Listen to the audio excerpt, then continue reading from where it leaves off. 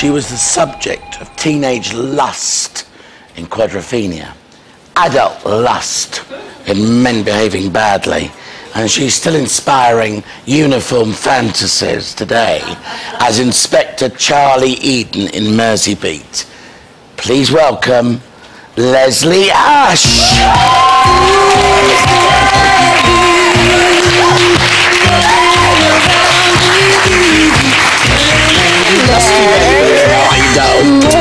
How are you? I'm fab, love. I'm even fabber after going to your club last week, which is probably why my throat's like this, because I was having fun. With well, now you're blonde. And now I'm blonde. Yeah. Do you know, isn't it funny? Because I'm an Aquarian, you're an Aquarian, and we've both gone through transformation. I've gone blonde. You've done your lips. Yeah, we could be twins. We could be twins, totally. Why'd you do your lips? Um, I think, to, to be absolutely honest, without harping on for too long about We're not it, gonna go on about it I much. used to smoke quite a lot, and Oh, yeah. as I was getting older, I noticed that I had these little lines here, and I just thought, well, someone told me, you know, you can have some injections and it just plumps it out, but my body rejected it. Oh, And see, no I was also injected with something that really shouldn't have injected, which doesn't break down like collagen Oh, or something like that. So, um, but anyway, it, it, my fault. I hold my hands up. I did something wrong, but Oh, well, um, darling, you- we're all it's going. It's going. Don't you think it's going? Yes. Oh, darling, I think, let's put it like Who this. will they write about next? You, I suppose. Your No, I've been hair. done. I've had the blonde. Can't be the cheeky girls. They've been done. Yeah. Maybe it's you and I together. Oh, right. As we're going through transformation. You know, Lesley, another thing I want to know is why you spell your name like a man. Well, my mother was Canadian, and in Canada they spell it that way. Les- Leslie Leslie Caron was L E S L I E. Gosh, really? That- That's the Well, one thing I really wanted to ask. Now let's get on with it with you because you've been doing so much. Merseybeat, do you speak with a Scouse accent in that? Um, no, uh, it's it's um, actually we we finished the the, um, the the last series, um, but no, I don't. I managed to be able to keep my London accent. I, I always do, even where the heart is. I managed to keep my London accent. What do you fancy doing next? Oh, I really fancy doing a film. Um, you know, it- it's a shame actually because you know they've had all this problem with the legislation now. You're not allowed to, you know, get tax benefit on on, on film. So I think it, we're going to suffer a bit in this country. The British film industry, I think, will suffer because we've only just got people, you know, backing films again, and we're just getting there. I can't believe what's happened. Well, there's one furore after another. It's VAT on theatre seats, Uh-huh. and then it's films and all those other things. What about theatre? Yep, I'd like to do a bit of theatre. There's talks of me perhaps going up to do a bit in the Edinburgh Festival on a one-woman show, um, but I've got to get my nerves together for that because it's been a long time since I've been on the stage. The last one was a pyjama game. Um, Did you go? Did you play the Doris Day oh, part? I did. It's a fabulous show. I isn't it? loved it. I loved it. I, I actually conquered my nerves to do that. It was good. Well, astrologically, darling, you're an Aquarian, like what I am. Scorpio moon. Sexy. Oh. Very sexy. In fact, so sexy that people will look at you and think, God, she's sexy, but won't be able to define it. Because you're like, I said when I first came on, you're like a nymphette. You're like one of those elusive creatures to people that they want to have and hold, but you're out of their arms as quickly as you jumped into them. Sagittarius rising, like your old man is a Sagittarian. He is. Lee Chapman, I saw him last week because we both said, turn around, let's have a look at your butt, didn't we? Saggy bum. Uh, we did, and we both decided it was... Not saggy, saggy. No, Saggy, a very Saggy bum. Um, teatro, why do you do that? Just fancied... Well, it was my husband's thing, really, because he'd been a professional footballer. Um, he'd always been interested in food, and he's, he collects wine.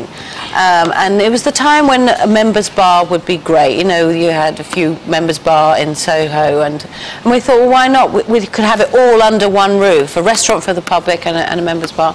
And so we opened one up. And the club, everyone is called Teatro, and it's just behind us That's, that's here. the members' bar. And now we've Oh, changed the the other one, restaurant into a, into a club, you know, where people can go and dance. Oh, that's and why I did the feng shuiing. That's called Souk Soho now. Souk Soho, Mm. because there used to be a very small dance and drama agency in Eastcote in Middlesex called Teatro. oh, And really? it's nothing to do with that. I know it's not. No. I was being devilish. Which will soon lead us to our next item. I must just, I must just say though, with the astrologicals that you've got coming up, I'm so glad that you, honey, want to do something different because I forgot during quadrophenia, which my uncle John Peveril worked on. And you saw him last week. I saw him last week in, at Pinewood, and I didn't have the guts to go up and say hello to him, which is really stupid. But uh, I was doing the um, old Homebase commercials there with Neil God, Morrissey. you do so many of those, don't you? Yeah, drive everyone they- mad. Are you going to? Yeah, but not as mad as Linda Barker does. I mean, you've got a nice voice. Yes. snip, snip. But it, it works, doesn't it? Oh gosh, of course it does. Because I bet everyone's going after, after you both now, saying, "Can you put a shelf up?" Yeah. Right, I'm Aries. What do you think, Russ? Um, but astrologically, because of the very late degree of your sun in Aquarius, but also your moon in Scorpio, with the astrologicals you've got coming, the next seven years are going to be very interesting. And you're actually starting a new seven-year cycle Oh, and you start it just before Christmas. So anything that takes you back to something you really want to do, then this is the time to really do it. And not only will you get pleasure, but you're actually going to get a lot of praise and applause and plaudits too. Hmm. So maybe Edinburgh is not out of the way. Lesley Ash, everyone. It's game time. We know all about Lesley's days in men behaving badly, but is she a woman behaving badly? We've come up with three questions for you to find out. That's for you to find out, Lesley. if you're a diplomatic Libra, uh, and oh, there's some stuff on there which I can't understand.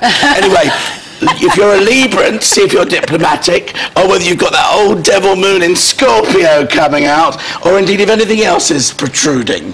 So let's see what we've got. Question one. You go. Is, is that there, darling?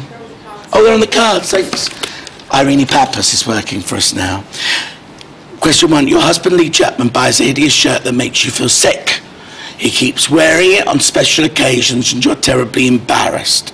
Do you A, tell him that you will iron it for him, then burn a big hole in it on purpose and pretend it was an accident? Do you B, put, bite your tongue and put up with the shirt, you love him after all? C, buy him another shirt and suggest tactfully that the colour suits him better? see.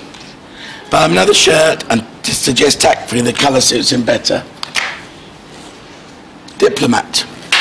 Are you ready now for the next question? Number mm-hmm. two.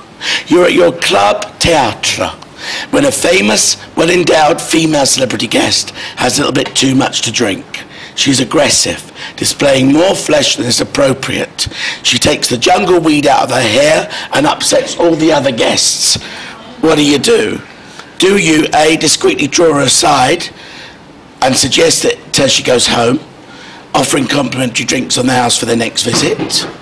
B, grit your teeth, smile, send over another round of drinks, avoid a nasty scene. C, tip up the tip off the paparazzi. That'll teach you to mess around in your joint. Oh, um, hmm. See. Good girl. You see, they want you to be like that. Yes. Um, A. Oh no, I was about to read you the questions, answers. Uh, three. Gosh, all this little print, and I've not got my glasses. No. You go for an audition, like Wacko, innit? Uh, you go for an audition for a Hollywood film role you desperately want, and you're upset when you notice that your rival is wearing the same dress. You have nothing else to wear, but she seems to have a suitcase of clothes. Do you A, lock her in the toilet, have your audition, and then leave? B, just leave. You don't want to embarrass yourself. C, ask her politely if she wouldn't mind wearing of her 101 different outfits, as she's so many. I think I call the paparazzi. No. Yes. yes, I would. See. C. Sit on that fence. Oh, darling, you're a diplomat. I so want you to be nasty, like me. Um, but anyway, I'm so thrilled. So, Lesley Ash, I think we proved that you're a woman behaving diplomatically. That's why she's always in work. God bless, babe. Cheers. And I'll be round soon with my compass to feng shui Lee's shirt.